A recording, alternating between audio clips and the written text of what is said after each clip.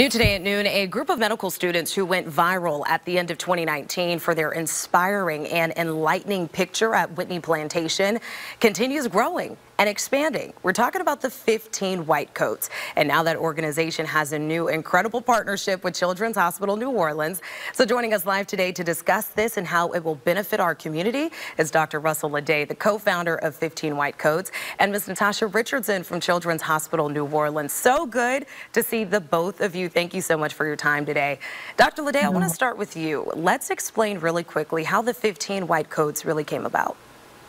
Yeah, of course. We we uh, went and took a very iconic photo at the Whitney Plantation, which is in Edgard, Louisiana, just down the street.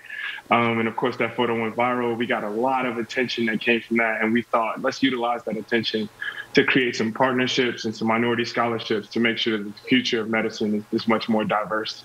And here we are and it is incredible. The journey has been remarkable. Let's go ahead and give us the breaking news. Dr. Ledet, this new partnership with Children's Hospital New Orleans. What is this going to entail? Oh, man. So, first of all, thank you so much to the Children's Hospital of New Orleans for uh, making sure that there was a monetary donation of $25,000. We are so excited.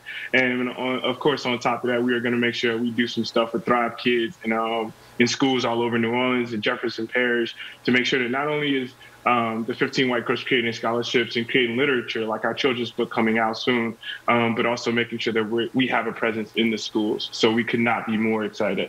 That is remarkable. Miss Natasha, how exciting is it for Children's Hospital New Orleans to be part of this partnership? And what do you all hope people will gain from it?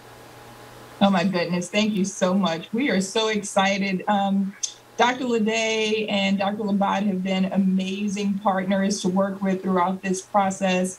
Um, as Dr. Ledet um, mentioned earlier, they're going to be working with our Thrive Kids Student Wellness Project um, to, our, to, help our greater New Orleans area students reimagine their futures and understand their talent, worth, and limitless potential. Um, we are so excited to be working with such an inspiring group of people who've recognized a need, they've taken action to create change. Um, we are so hopeful that this will be a first step in breaking down those barriers and building a future that includes a more equitable medical education system. So we are so extremely excited to partner with them. I love everything about this, and I'm so excited for this partnership. Really quickly, before we let you both go, where can people learn more, both about the partnership, but also about the 15 White Coats? Of course, you can learn more about the partnership at chnola.org, and you can find out more about the 15 White Coats at the 15whitecoats.org. We are so excited, and thank you so much for having us, Christina. Of course. Congratulations on all your success. We'll post this information on our website for you today at WDSU.com. Dr. Ledet, Ms. Natasha, thank you both so much for what you're doing. Thank, you.